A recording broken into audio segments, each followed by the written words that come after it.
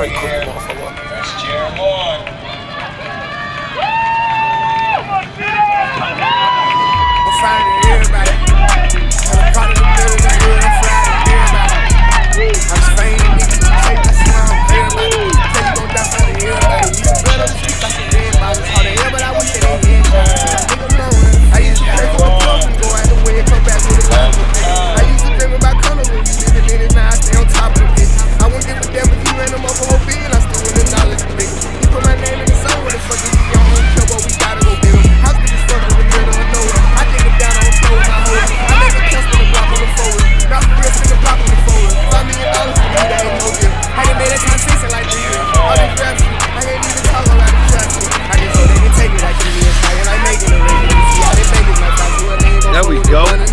Back to Atlanta